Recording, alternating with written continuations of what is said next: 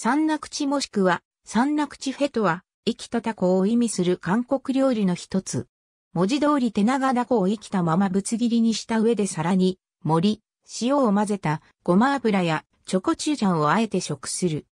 大韓民国ではタコ一匹が高麗人参一盛りということわざがあり、タコは美容食や競争食として全国的な知名度を誇る食品である。鍋や炒め物に使われるほか、三な口のように生で食べるのも人気が高い。手長ダコは中んずく、全羅南道の木浦が産地として知られ、三な口も郷土料理として有名。成長する前の足の細い手長ダコは、セバルナ口と呼ばれ珍重。木浦ではこのセバルナ口を生きたまま割り箸に巻きつけ、チョコチュジャンをつけてかぶりついて食べる。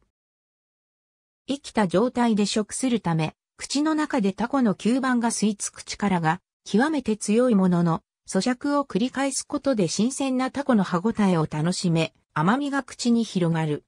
食べるのに慣れなければ、喉にまでタコの吸盤が吸い付いた挙句、窒息死寸前にまで至る場合があるので注意を要する。イギリスの日刊紙、3は2012年8月16日、三な口を世界の危険な食べ物8つの一つとして紹介。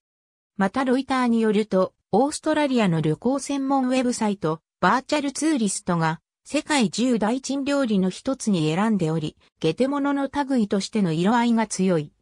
なおバーチャルツーリストは、三な口について、死んでいるのに生きているように動いており、素早く食べなくてはならないと食べ方も紹介した。ありがとうございます。